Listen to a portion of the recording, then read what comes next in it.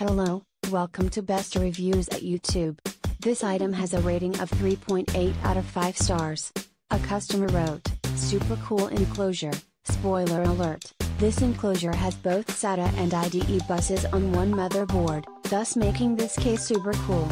Plugged up the ancient IDE drive my stepson had and his ancient Toshiba laptop, which self-destructed years ago. Anyway, great case, worked out of the box on Win 7, Win 8.1, Win 10 RTM.